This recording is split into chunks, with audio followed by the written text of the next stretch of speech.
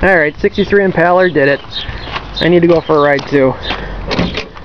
Granted, my driveway isn't nearly as fun as going down his driveway.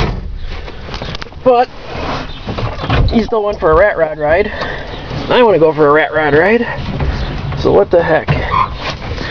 It's actually not too bad out today. I said it was going to be a lot warmer, but it's not.